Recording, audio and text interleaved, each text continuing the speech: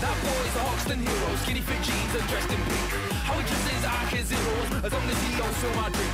That girl's an indie Lego polka dot dress. Hey guys, today we have a match that was right after the server split, so I'm level 50 and he is level 63 assassin. It's gonna be a little tough. I have like level 35 Hellgear I think. So he catches me right off the bat with a shadow grab, forces my counter which is pretty bad. Try to play defensively, I move back after the Divine Assault instead of going for a combo because I know he has all his counters. And I try to turn around and throw a dagger at the ground thinking he's there. He catches me with a Shadow Wire. I get him with the swirl, but he just ends up countering out. I just try to back away, get away. And I, one important thing is when you're doing dagger stack, you can cancel out of it very quickly with the silhouette thing. So he forces my evasion again. He ducks the dagger really nicely, but I catch him with the Hellburst. I always put out the uh, Ice Crystal just as a defensive thing. Just throw that out there, hope kind of block off where they can come through, but he hits a really, really nice shifty grab in, out of my Divine, which is pretty much the only way you're going to break it. And really, really nice play by him. And I lose the first round because of it. At the beginning of every round, usually I don't have enough daggers, and you always want to have as many as you can on Warden. So I'll usually stack a dagger, and then I'll throw out the uh, Frozen Flash, trying to just stall time to stack up a second dagger, so I can almost always get two right off the start. So I catch him with a dagger, nice ball. I get the freeze as he's getting up though, so the Hellburst doesn't hit. Then I drop the combo, and then he uses get up, and it breaks my, or I force my eva evasion by accident, which is pretty pathetic. I get the counter, throw the dagger, throw the ice ball. I don't know why I froze the flash, but I get the wall up, and as he's hitting me, knock him down, throw dagger.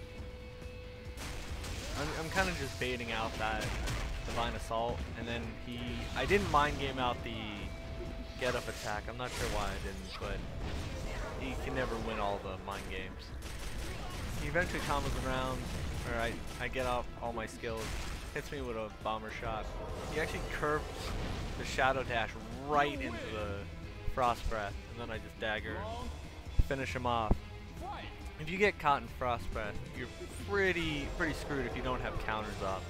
It's pretty much game over, especially if you're even in gear. Here he kind of misplays the Shadow Grab, but he still forces my uh, evasion. Put the Frost Wall up, get the Swirl, get a nice combo in. He has to counter out. Hits me with the Frost, or the Web Wire. Use my ground counter. I don't know where he was there, and I just kind of panicked. Then went into fog. Kind of just, I don't have any counters, I'm just trying to get away from him. He's actually kiting around me really, really well. Kind of hanging out in the air. Now I have no counters whatsoever because my one just came back up and I had to use it instantly. Kind of just trying to keep my distance here, stack up my daggers because I currently have zero, so I sit inside of Frost Breath, trying to stall time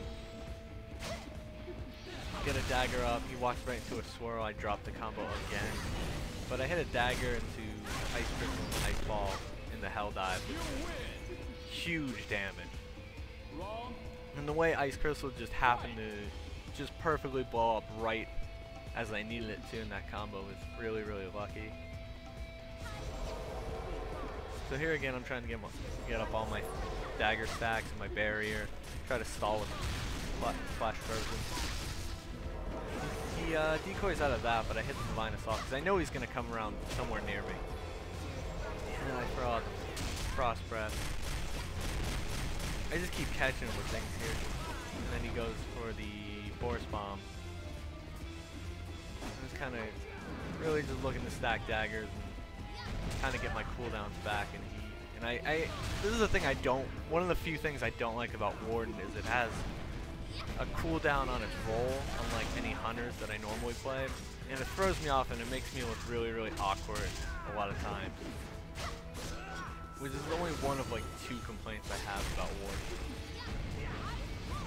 He drops his combo there, which is kind of unfortunate for him. He actually kills me with the web wire, which is pretty funny.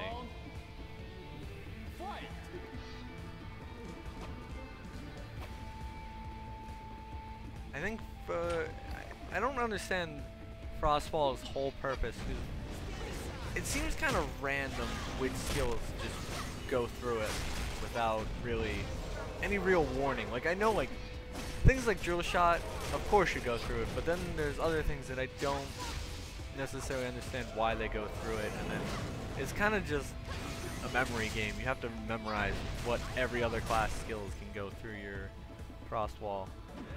But here I bait out the get up and then use fog, and then try to blur shadow. And then I actually super armor through with swirl, get a nice combo in.